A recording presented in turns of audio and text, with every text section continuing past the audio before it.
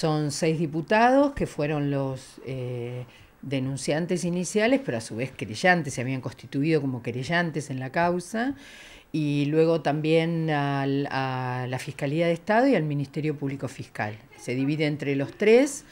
Eh, de cualquier manera hay que aclarar que nosotros nos vamos a encargar de que no sea la Fiscalía de Estado quien tenga que pagar, sino que quien pague sean quienes promovieron o hicieron uso del Estado para perseguir políticamente, concretamente esto es Martínez Zapata y en este caso Arcioni, que dio orden de seguir cuando no tenían fundamentos. No, no es una suma mm, digamos, chica, ¿no? Son, en total son dos millones, más o menos son eh, 500.000 que le toca al Ministerio Público Fiscal, 600.000 que le toca a la Fiscalía de Estado y más de 700.000 pesos que le toca a los querellantes diputados. No hay dinero que te pueda compensar el daño moral que te han ocasionado.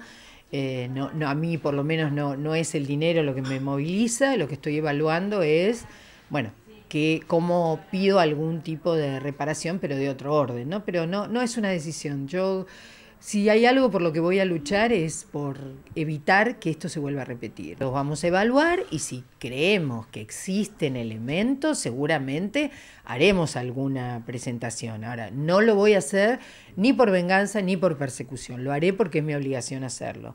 Y seguramente lo tendrá que hacer también el procurador en este caso. Pero no, yo no tengo, no creo que la política sea venganza.